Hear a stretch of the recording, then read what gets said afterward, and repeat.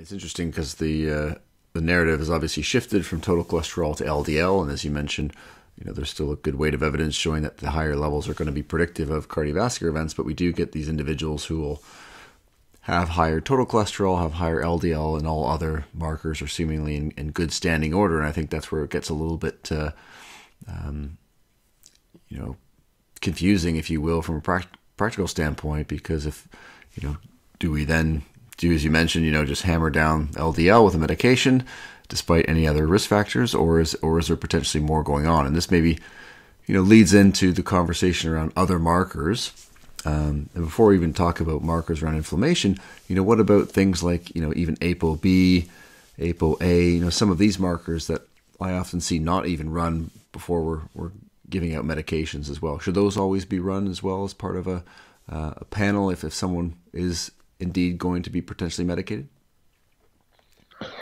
Uh, I, I don't know that always so, some people are so obviously risk True high risk, it, it's, it's it's okay to go ahead.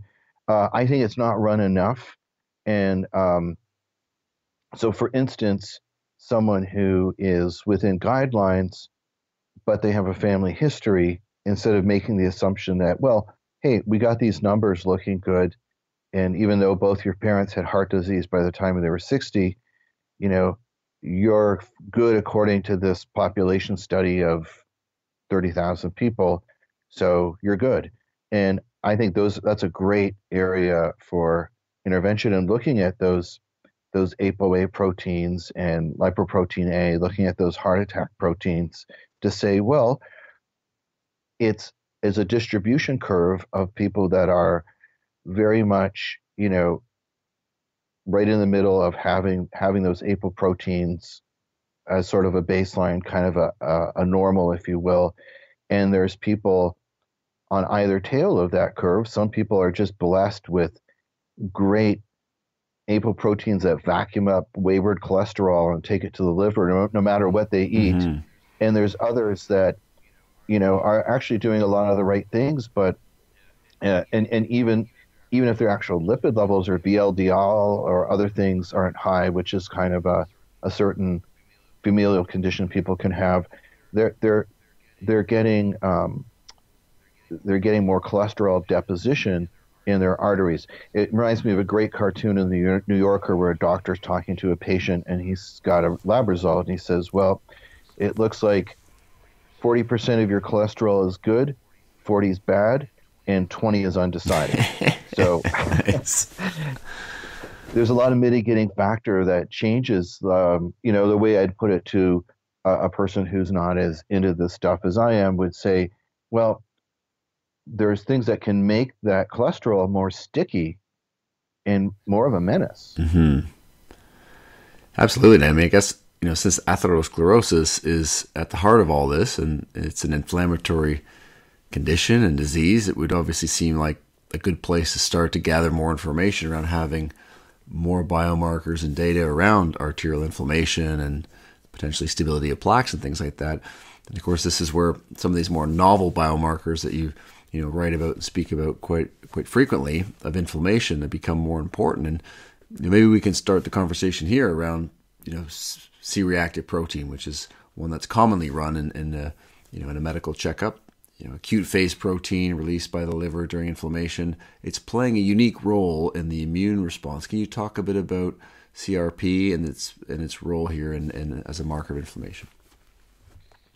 Yeah CRP C-reactive protein it's very highly, you know, associated, correlated with cardiovascular disease. So although, you know, although it can be high because of other things, like maybe you have a dental abscess and it's causing this reactivity, it, is it, it is really associated there. So for instance, the higher CRP level patients have been shown to have twice the mortality.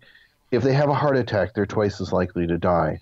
And just in terms of disease progression, CRP is a really good, uh, really good predictor of of someone's possible of someone's possible uh, progression. So, in other words, will somebody uh, find themselves at heart disease uh, state more quickly um, the uh, the uh, plaquing that might happen um, is more likely, and it is getting some it is getting some attention from internists um, and some cardiologists who order it along with the lipid panel. And I think some of that attention comes from the fact that in some of the larger trials, um, the statins, in particular rosuvastatin, which people know as Crestor, lowered CRP.